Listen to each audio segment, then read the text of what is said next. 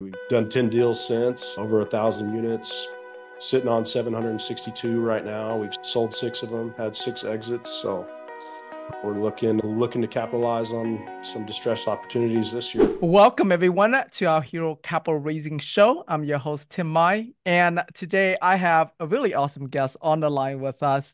Super excited to interview him. He's one of those up and coming rising star that's growing super super fast. Mr. David Lilley. And David started real estate investing in 2013 with the purchase of his first single family rental and has since transitioned to multifamily, starting with his first six units uh, in 2008. And um, now, since that 2018, David has sponsored uh, the purchase of over a thousand multifamily units valued at over 130 million dollars and uh, has personally raised over $38 million in the process. Starting from scratch, David has direct experience in every facet of real estate acquisitions, redevelopment, and property management. Uh, prior to his career in real estate, David served as an infantryman in the United States Marine Corps with one combat deployment to Afghanistan. He worked as a firefighter, paramedic, and was specially trained in multiple technical, res- technical rescue disciplines. He later worked under the Department of State, providing close protection to the DOS officials, to include the Secretary of Defense. He was deployed multiple times to uh, Baghdad and finally, David uh, was also deployed multiple times to the southern Philippines in direct support of the SOCOM as a search and rescue paramedic. With that, let's give David a huge welcome, y'all. Woohoo! Have me, Tim. Glad to be yeah, here. Yeah, thanks for being here with us today. Uh, yes, share with us like what got you interested in real estate to begin with, and especially about your transition into multifamily. Yeah. Yeah. I always viewed owning a home as like the first kind of first step to investing. I've always been honed in on investing in general. It started when I turned 18, obsessed with a you know, credit score, having a perfect credit score and building my credit. Bought a motorcycle when I got out of boot camp and I was fine paying the 17% interest rate because I knew it's it's just something I had to do to build that credit. I was just always really honed in on it. I felt like I was just throwing money away, paying rent, paying down someone else's mortgage. And at the time, 2013, it was much different. But I was in in that first house for I think three grand, and years later, I walked 90. And so at that point, I was hooked on real estate. And the next question was, okay, how do I scale this? Do I continue buying single family homes, or do I just buy one multifamily building? So at, at that point, I had stumbled upon BiggerPockets and learned about economies of scale and multifamily. So I took the jump, bought that first six unit place in Tampa, and the rest is history. We've done 10 deals since, over a thousand units, sitting on 762 right now. We've sold six of them, had six exits. So we're looking looking to capitalize on some distressed opportunities this year. That's very awesome. Yeah, share with us what I assume with the single family homes that was pretty easy. Did you use your own money as a down payment for yeah. that house? okay. yeah. So share with us what your when did you do your very first raise for the syndication business? Yeah, yeah. So that first six unit deal was really a joint venture. There was no fees, no no waterfall. It was all pro rata. It was me, a family member, a good buddy of mine and his coworker. So we all just had pro rata based on our contribution. And then the, the second deal that we bought a couple months later in Chandler, Arizona, that 16 unit, that was really our first syndication, first first raise. and then, you know, it's just we started with our close friends and family network and have since just branched out from there. I see. And how much was that that that raise? That raise was 450,000. Yeah. Okay, the, so still first, fairly small. Yeah. It was. It was small. That first raise was 350 and it went I put up almost 60% of the money. I felt it like it was my obligation to do so since I had no experience and we had a ton of interest from our networks. Um, me and my buddy that was my business partner in the deal And so when this next deal came across our plate, we are like, shoot, this will be simple. We just raised 350. This is 450, no problem. It ended we barely closed that deal. We were barely able to raise the money. I had to take out $50,000 mm. personal loan, made my wife take out a $50,000 personal loan. So we had to get creative. We ended up selling that deal, I think 16 months later and, and made a handsome profit. So it, it worked out, but gotcha. okay. Let's a little bit of risk. Yeah, I love that. So let's dig a little bit into that. Like what made that race the yeah, what made that race uh, difficult for you? Just the lack of experience and track record, I think, is what it boils down to. I had no professional experience. I was graduated, I was a Marine, firefighter, so no no real institutional or professional experience as a real estate investor. I had learned some being a single family landlord, but I I definitely wasn't a money manager. So that's the biggest hurdle I think most of the new sponsor syndicators are going to have to overcome. and one of the ways you can do that is by partnering with someone that has that experience, which I just didn't have that right partner or mentor at the time. And frankly, I was probably just hard headed and felt like I could just do it on my own. Yeah. So let's talk about that. So if, if you were to start over again, like being new again in the shoes of mm-hmm. some of the people on here that are new, how would you have went about doing your first raise, doing your first deal? Mm. I would have made more of an effort to find that mentor or that partner with experience, someone that had owned properties and had successful exits because I spent about a year just underwriting deals and reading every forum post on BiggerPockets and reading every book I could on real estate. and I felt like I learned a ton, but just operating that first six unit property, I learned exponentially more than I had learned on my own just by doing it. And so having a mentor, or someone that that had done it before, they they could have helped me avoid some costly mistakes. Okay, gotcha. Yeah, that having a mentor definitely would help a lot. So, when did capital raising, especially let's actually let me let me rephrase that. You came in 2018 pretty much at the height of the market. And during that time, for a lot of people, raising money was fairly easy, right? I know you had your challenges in, in that first deal, but at what point did it become easier for you? How many deals in was that? I would say really I feel like I had always heard the 10th deal is where money stops being uh, an obstacle. And I found that to be true. We just closed our 10th deal in December. Biggest raise we've had, $10 million raise with a plus 5 million in pref, so 15 in equity. And that was it was the smoothest raise we've had to date. Yeah, I would say around eight, eight, nine, ten. But that deal was also the first time we had really worked uh, with different fund managers at a larger scale. So that certainly helps too. You guys right. are really good at what you do. Thanks. Yeah. Tenth deal. The the difference between raising during the height of the market versus where it is now, and I know it gets easier for you now you're like you're dealing with a different challenge, right? You're dealing with a challenge of the market versus dealing with a challenge of being a, a new syndicator.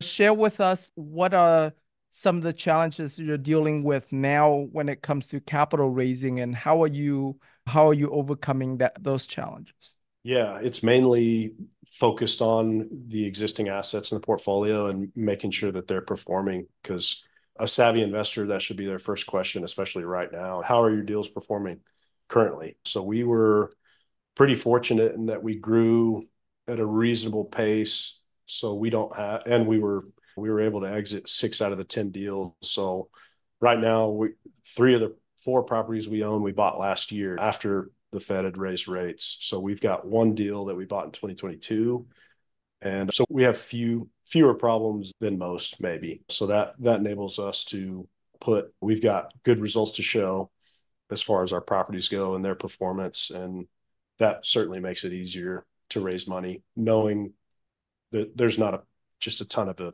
skeletons in the closet. Okay. And um like how a lot of people uh, got caught up in the height of that market and continue to pretty aggressively bought. Um, you know, so what what was it about the market? What was it about you know you that that you uh, pull out early and and not not yeah not having to go into deals that were marginal that might have gotten you in trouble now. Yeah, yeah. I think we've always been maybe more disciplined than others in in our underwriting assumptions that we use. I know our exit cap rates, for instance, are much higher than some of our competitors. so that helps. But also, I feel like a lot of people that have gotten in trouble, they bought a value add deal and they didn't add any value. They didn't execute on the the renovations. And because it's tough to do, especially at scale. So they were one of those groups that just bought a ton of properties. Yeah, it's just really tough to execute. Yeah, I think that's one of the biggest reasons. Gotcha. Okay. And um, yeah, so you you stayed out for most of 2022.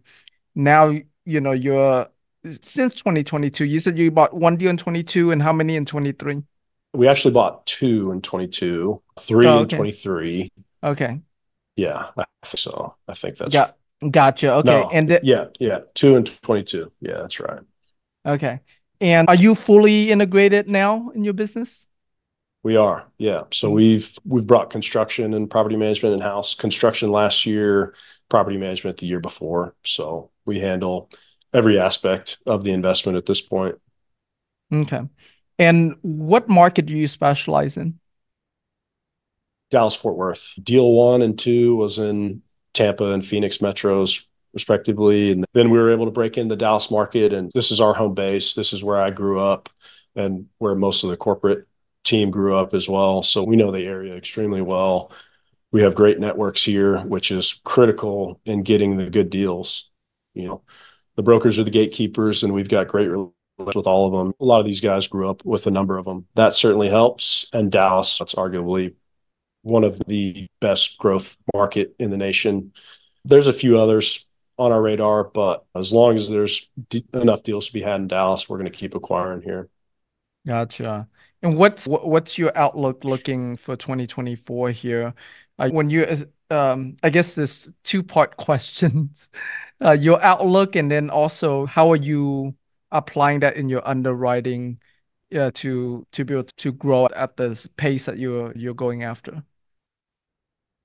Yeah, as far as underwriting, this year we're underwriting for zero percent rent growth in Dallas. I think the third-party data suggests one, two, three percent, something like that. But I think this year there's just too much unknown. It, it makes it very tough to underwrite, which is why we're really focused on truly distressed opportunities this year.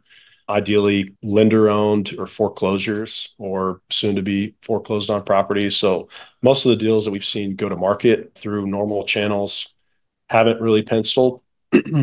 but yeah, the underwriting assumptions are key. That that rent growth, yeah, it's a tricky one. It's really anyone's guess. I don't think anyone really knows. Okay. And where you see the market, like the yeah, where do you see the markets going here in perhaps the the next couple of years? I think 2025 and 2026 are going to be great years for rent growth in Dallas Fort Worth, um, just due to the supply and new supply dropping off a cliff in those years. Long term, I think the outlook is fantastic for Texas and, and Florida and probably the Carolinas and and many of these good markets that you guys know? yeah, it's a tough question. Okay. And so when you're saying you're underwriting, assuming that there's zero rent growth, are you so are you having to buy just at a deeper discount, or are you put underwriting thinking that maybe the cap rate will get compressed any in the next at least in the in the next five years or so? so that way the yeah. deal can become profitable for you? Yeah, there we haven't seen very many six cap or, or greater deals here in Dallas. If 1980s or newer, they're still most trading around in the fives somewhere. So there's we're not modeling for really any cap rate compression. Okay. If that answers your question. Yeah, it does. It does. So I guess, and, and my question is similar to what Mitchell wrote here in the text, uh, in, the, in the chat, in the sense of what, you know, what are you modeling for that would have these deals pencil out if rent growth is not there, cap rate compression is not there? Um, yeah. It's really we're we're focused on the deals with just a, a really low going in basis. So we're honed in on that. That certainly helps helps the deals pencil, but really it's just a matter of putting all the numbers on paper and and seeing what they tell you based on where the in-place rents are compared to the comps. The story story of the deal is huge. We've got a couple boxes that we need to check right now, kind of pass the sniff test and locations one, story, story is another. Those are two that are very important for us. And then basis was the third one. Gotcha. And you, I assume you're planning on um, specializing in the DFW area for um, the foreseeable future. Is that correct? I think this will continue to be our focus for the foreseeable future. We would like to jump into some other markets because Dallas isn't the only place that's going to be growing. I, I think there's plenty plenty of other areas to make to make great investments in. But yeah, Dallas will be will continue to be our focus for sure. I see. Okay. In terms on the capital raising side, especially in today's market, what what are like maybe the top three or so channels that or strategies that you have found or that you're finding that's working well for you and your team right now? I've in the past year or so, I've made a concerted effort to just increase my network and exposure on LinkedIn. And I feel like that's been a huge, huge game changer for me in the business and just getting our name out there in front of people. So LinkedIn is huge. These podcasts are huge, obviously, and just attending events and conferences and it's all about networking. None of this would be possible without a network. So that's probably the most important thing, but also having a track record and executing, doing what you say you're going to do. Yeah, building your reputation definitely very important. Exactly. Yeah. On on the LinkedIn, what are you doing on on on there? Just trying to provide valuable content. What we're seeing in the market makes up a lot of the content that I post about. Just trying to provide valuable content to my network, the people that I'm connected with. Gotcha. I assume do you have a team member that helps you also connect with like more people and try to connect as many make as many connections as you can, or is there any like specific strategy around LinkedIn that you're not yet not connections. I've seen that they there's definitely tools that you can use to help grow the network. I haven't used it on linkedin. I did just hire a uh, full-time marketing guy this year so he's really focused on more more on like the instagram um, instagram side. He posts on every channel really but most of the content that i post is my own.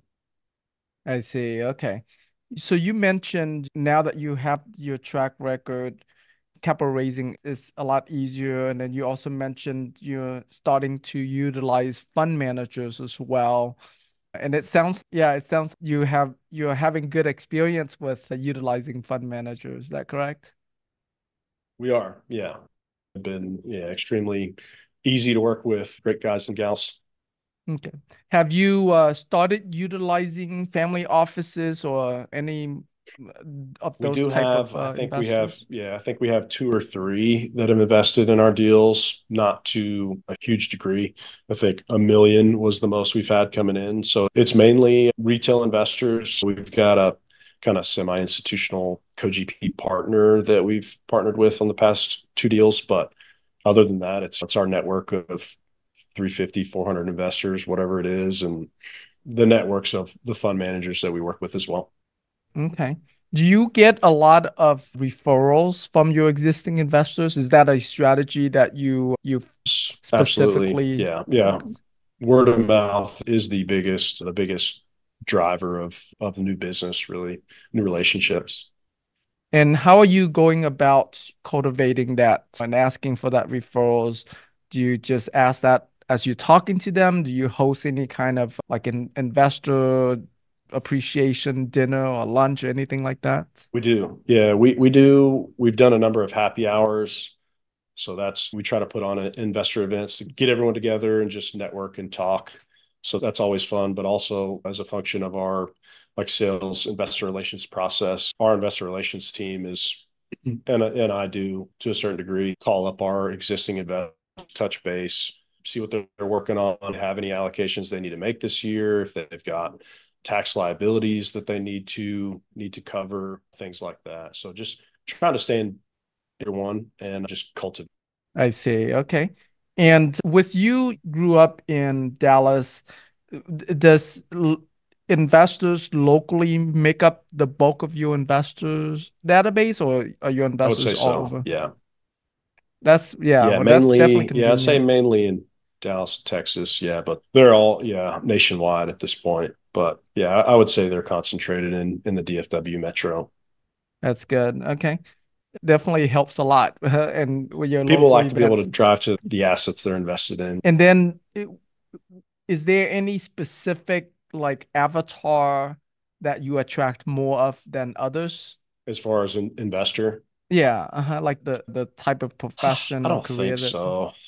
Yeah, I don't think so. There, it really seems like it's just all all across the board, all walks of life, younger, older, everything in between, all various professions. Yeah, we haven't really made a focus to go after the dentist or the docs or whatever. And so how big is your team now?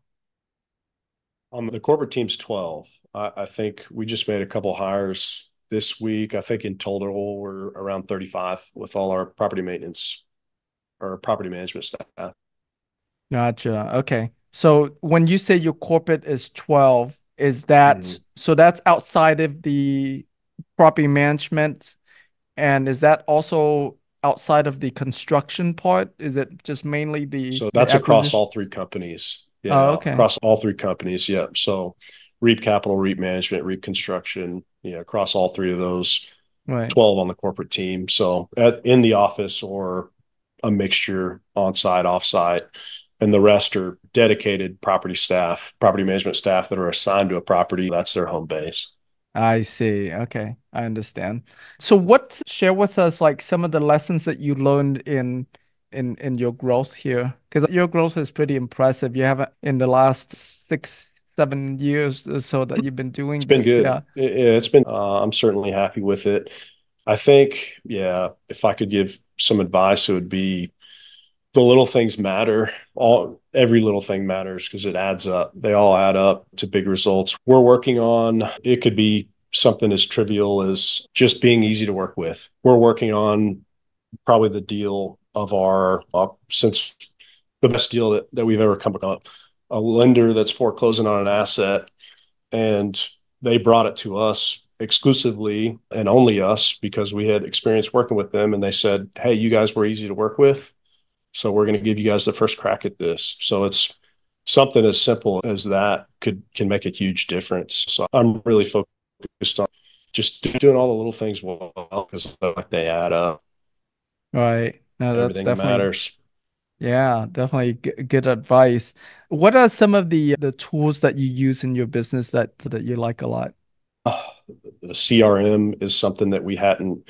We had a CRM, but it was part of our investment management software, and it just wasn't very good. So we've branched out to a dedicated CRM for our investor relations side, and that's been huge for us. So that's been a great piece of software. And then we just migrated our whole portfolio from RealPage to AppFolio on the property management side, and that's been a real game changer. I don't, yeah, it's in my opinion, it's hands down the most superior product. There's just there's a yeah, we could do a whole nother podcast on that. But if yeah, if anyone's looking for some good property management software, I would implore you to give that thing a demo because it's been great for us. All right. Okay. So I know you mentioned earlier that if you were to do it all over again, getting a mentor would be a, a um yeah, would be a really big one. Uh, is there any other uh big things that you would have done differently if you were starting over, especially considering the market that we're in right now? Yeah, so it's yeah, it's tricky. Um, if we were in a different place um, as a business, as a company, I would have probably sat out once the Fed started raising rates, like a lot of the big groups did.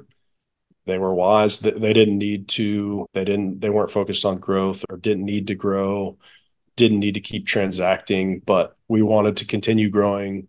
We wanted to continue buying good opportunities. And at the time, working with the the market data that we had, using assumptions that worked at that time, the deals we bought were great and we would have done it again. But since the market has shifted, rents have softened. We're dealing with this 40 year high in new supply. So, dealing with a lot of, turns out all our underwriting assumptions were wrong on some of these deals. Mm. So, there was a lot of wisdom in sitting out, it seems, that some of the groups showed. Yeah. I know asset management is probably a really big one that you know, that you get to learn, especially when you're talking about assumptions going wrong. And so, share with us some of your lessons around managing through. I don't have you had any type of capital call or pause distributions on any of your deals? Yeah, we've paused distributions on two two out of the four right now are heavy value add deals. So we we had no plans to issue distributions on those for two years. So those are going according to plan. The other two, we shut off distributions end of last year when at least in Dallas, everyone's occupancy took a huge hit at the end of last year. There was negative absorption. You're not making money when you dip below 90. So we shut off distributions at that time and we're just focused on stabilizing for 90 days at this point. As far as asset management goes, until you operate a 60s, 70s, even 80s vintage property, you really don't realize how expensive they are, at least like in regards to repairs and maintenance. It's a lot more than that seller's T12 reflects.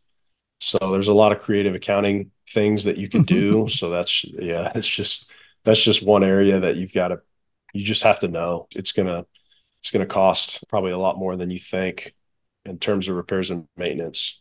I see. Share with us like one of your deals that you have right now that perhaps you have the most challenging and you have to do a lot of things um, around asset management that you yeah like mm-hmm. you have to be creative for. Yeah, so the one we bought in 2022 is probably the most challenged, but it's really it's a beautiful asset, but the pocket that it's in in Dallas has just gotten hit really hard with vacancy and delinquency. Mm-hmm. So all our even they're some of the biggest operators in Dallas own in, in, the same neighborhood and they're dealing with the same issues 10 plus percent in bad debt that just seemingly there's no end to it. We've gotten super aggressive with being the cheapest rent in the comp set to drive occupancy because turnover is just so expensive. Um, so that's what we've been focused on that property as far as asset management goes, just retaining tenants, focus on those renewals and getting heads in beds. Gotcha. Okay. All right, we're gonna wrap up this a part of our interview, and then we'll open up for Q and A here in just a little bit. For the folks that wants to reach out to you, connect with you, learn from you, potentially invest with you, where would you like to uh, send them? Yeah, go to our website. It's reapcap.com, R E A P C A P.com. Go to the contact us deal. You can submit a contact form, or there's also an area to schedule a call directly with me. You could shoot me an email also, david at reapcap.com. Find me on LinkedIn.